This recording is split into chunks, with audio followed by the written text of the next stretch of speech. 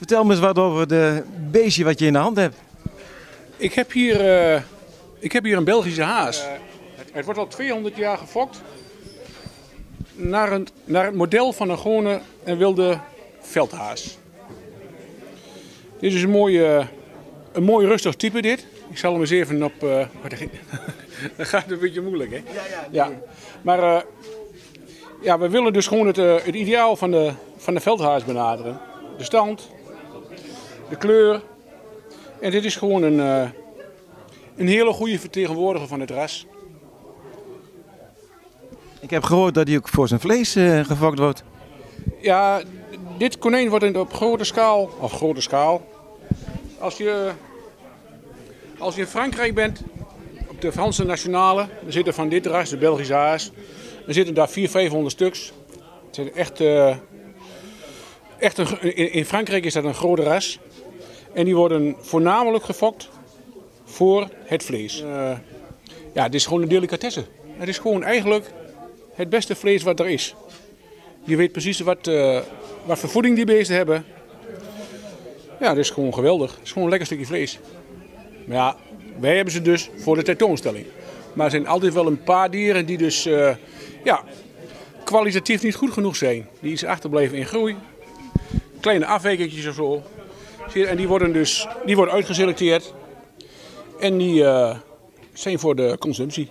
Het is een Drentse kriel. En dit is een speciale variëteit. Dit is namelijk een bolstaart. Dat wil zeggen, eh, in het verleden heeft er eh, in dit ras heeft er zich een, een mutatie voor gedaan. En bij dit ras, en dat, die mutatie is dus door fokkers opgenomen. En die hebben dat er verder bij ingefokt. De Drentse kriel heeft normaal gewoon een staart.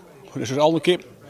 Maar door die mutatie is, eh, is die staart weggevallen. Dat is gewoon een, een, mutatie of een genetische verandering. En die, mon- die mensen die die rassen toen fokten, die vonden dat mooi. En die hebben dat vastgelegd. En dus hebben we dus nu in Nederland de Drentse kriel met een gewone staart en de bolstaartvariëteit. Ja, rond 1850 werd het, werden de hanengevechten verboden. Maar dit zijn rassen die zijn dus gewoon puur gecreëerd voor het gevecht. Vroeger werden deze hanen, die hebben nu een mooie kam. Maar vroeger werden voor het gevecht die kanen met een, met een ouderwets werden die eraf gehaald. De kinderen gingen eraf. En dan krijg je iets, een, een, ander gezicht, een, iets een, eh, een gezicht. En dat, dat is eigenlijk sinds eh, een jaar of tien is hier in Nederland het coupeerverbod.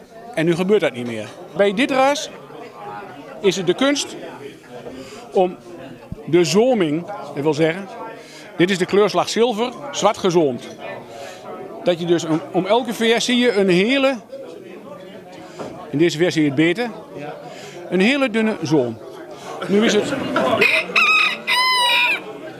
de kloe van dit ras om gewoon te zorgen dat daar mooie brede veren op zitten. En als u dan naar deze veer kijkt, ziet u dat die mooi egaal gezoomd is. En ja, dat is het nut. En wat deze ook hebben, die hebben iets, ja, een grotere kam. Ziet u? Ja, dit is, dit is echt iets, meer een, een, een soort een, roze kam. Die hebben echt een, grote kam. Met een mooie kamdoorn erop.